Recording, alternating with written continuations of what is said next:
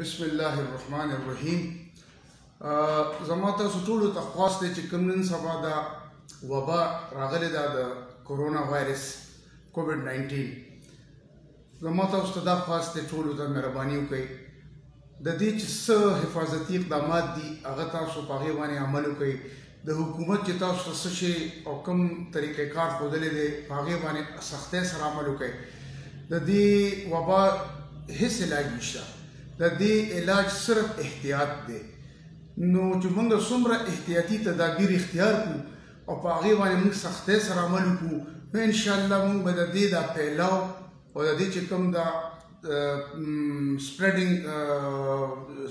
پیس دی دا به مونږه کنټرول کو نو چې یو پر مونږه د دې دا پیلاو کنټرول کو ان شاء الله دې په مریضانو کې بم کمی راشي زما تاسو ته دغه ریکوست کوم چې مهرباني وکړئ خپل کورونو کې کېنئ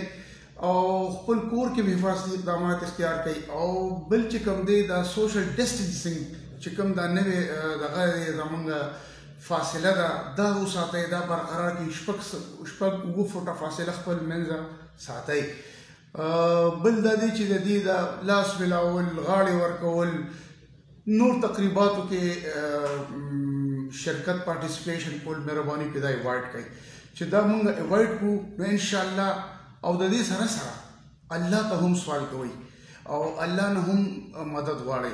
ځکه چې کوم چې هر څنګه دی اخر دی او اول دی اول دی او اخر دی د دې علاج به صرف الله مونږ لرا کوي نو سره د احتیاطي تدابیرو سره مونږ ته پکار دي چې الله ته رجوع کو ان شاء الله مونږ هم دې لا به حیثیت قوم شکست ورکو دا زمونږ عزم دی ان شاء الله